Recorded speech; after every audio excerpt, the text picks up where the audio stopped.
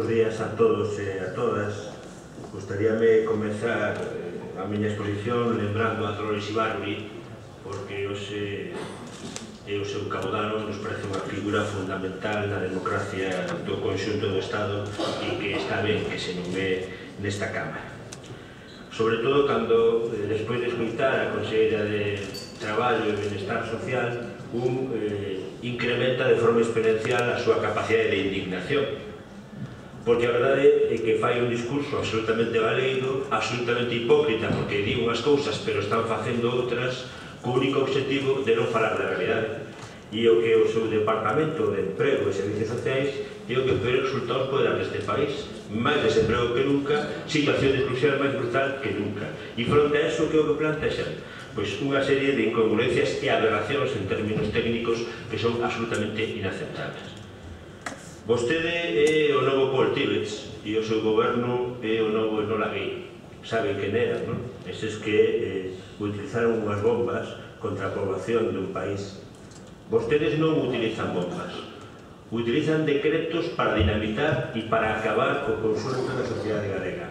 Utilizan decretos que condenan a miseria a moita xente e ademais deixan feridos de morte a xente que necesita desas axudas. Os seus decretos anticipan que neste país solamente para ser atendido por dependencia aquel que o poida pagar. O único decreto deste de eh, carteira de servicios que o puso encima da mesa ten dous objetivos fundamentais. O primeiro é excluir a xente que non poida pagar os seus servicios de dependencia e o segundo é mercantilizar e privatizar a dependencia deste país. Vostede o acaba de explicar dunha forma moi contundente. Queren vostedes que toda a dependencia deste país sea objetivo da mercancía privada e que solamente aqueles que se poden permitir poidan acceder a este servicio. Pero claro, eso é normal nunha eh, conselleira como vostede que está a servicio de quen está. Eu, eh, na súa comparecencia de orzamento, lle preguei. Lle solicitei que viñese comigo o carón de calquera contenedor de lixo dun supermercado do noso país. Vostede, evidentemente, non se permitiu o luxo de vir a ver a realidade. Pero si vostede estuvo ayer rendindo pleitesía a César Aliarca, esa persoa a que vostedes defenden, que cobra 10,6 millóns de euros de salario anual e que é capaz de que en 2.600 millóns de euros de beneficios plantexar que se terminou a crise. Para que se terminou a crise? Para os que vos defendedes, para os de sempre Pero o 26% de desempleados que neste país, as 260.000 familias que non teñen para comer neste país, ah, para eso non se terminou a crise. Que é o que vostedes están plantexando para sair da crisis? O que ayer defendía o señor Alierta e dos que vostedes son fiel lacayos, e vostede é unha fiel lacayo dese tipo de persoas, porque son os que defenden.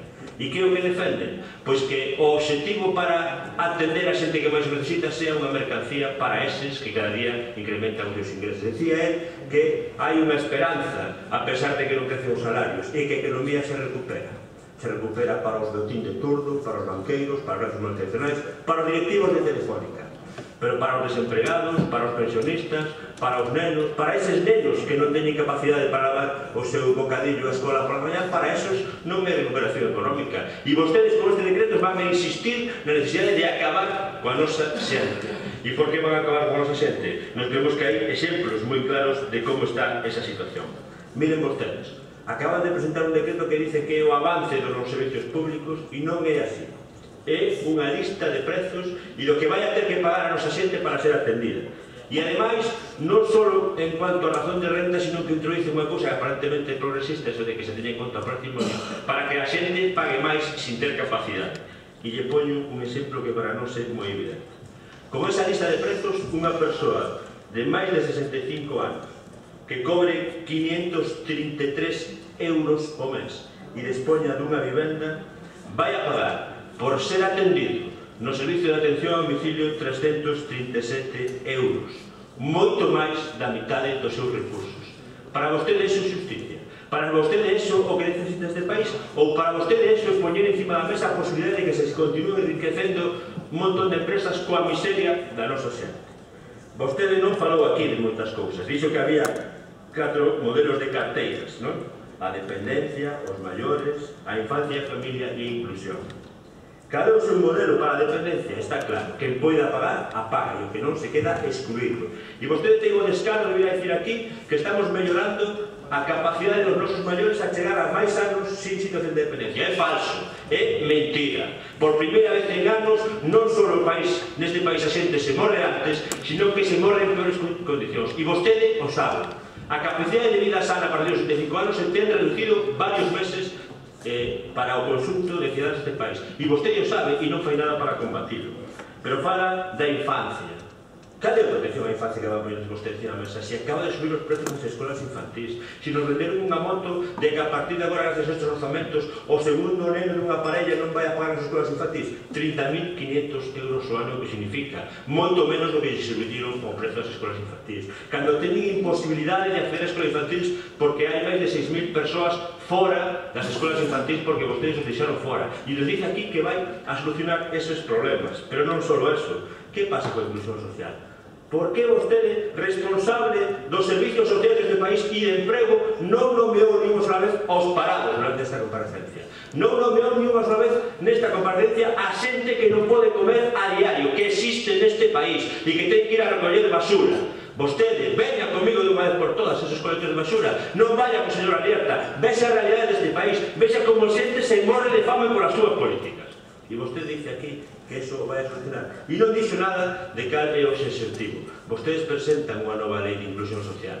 Queréis afora os menores de 26. Queréis afora os maiores de 65 que non teñan acceso a unha non contributiva ou unha pensión. Vostedes, por exemplo, porque non toman exemplo do seu goberno de Extremadura. Para, desde logo, non moi progresista, pero que ten unha renta de inclusión social que por encima dos 600 euros. Por que non toman exemplo ese tipo de cuestións? Por que non toman exemplo da necesidade de que neste país a xente teña os servicios mínimos garantizados? Por que non falamos da necesidade do bono enerxético? Vostede cree que neste país se lle pode cortar a auga e a luz a xente? Vostedes saben que neste país hai unha de cada cuatro familias non vai acender a calefacción durante este inverno porque non as pode pagar. E vostede co que vai solucionar? Cas cuatro novas carteiras que poden ser Ese modelo de carteira para vostede ir a coller de a carteira aqueles que teñen poucos recursos para darles os alertas de turno. Ese é o seu modelo. E eu lle pido que explique.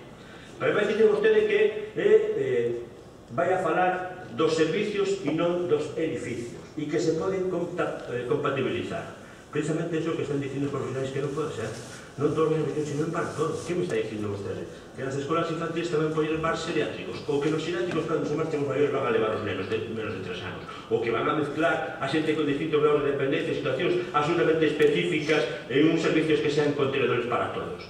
Vostedes volven ao modelo da beneficencia e moi pronto non só incrementarán os servicios, sino que generan servicios opacos, para que non se vexan os pobres, para que non se vexan os dependentes, que é o que vostedes persigan. Igual que no seu momento eliminaron as listas ou as colas diante dos fines do desemprego pois a cita previa para que non se mirasen os desempregados na cola agora queren eliminar os pobres das, eh, das colas e queren eliminar aos dependentes e como se queren eliminar? pois incluíndose en caixóns desastres onde non se mire esa situación Dende logo, eu pensei que vostede teñía un pouco de dignidade e sería capaz de poñer encima da mesa solucións, pero ninguna sola solución palabrería barata, sin ningún tipo de objetivo, sin saber, sin coñecer a realidades deste país, sin poder ter unha solucións para esa xente. A xente non quere un novo proceso legal para que se repita o mismo. Vostedes nos están curando deixándonos morrer, porque vostede dixo aquí que isto vai ser para qué? Para seguir coas peores situacións de desemprego deste país. Por que non se lee vostede o informe do Consello Económico e Social que dice que, por exemplo, na miña comarca, en Arousa, na comarca de Arousa, según o Consello Económico e Social, non siquiera eh, alternativa que das esquerdas, o 32% da xente vive por debaixo da limiar da pobreza. Esa é a realidade. Eu lle dou Unha última, lle fago unha última solicitude. Lles dicía ao principio que vostedes eran como os pilotos de Lola Gay, que repartían non bombas, sino miseria que provocan fame e mortes. Saben vostedes que moitos deses pilotos morriron arrepentidos, de non poder marcha atrás, Eses pilotos, no seu leito de morte, decían que se arrepentían do que tiveran feito, de haber provocado a miseria, de haber provocado a destrucción masiva dun país.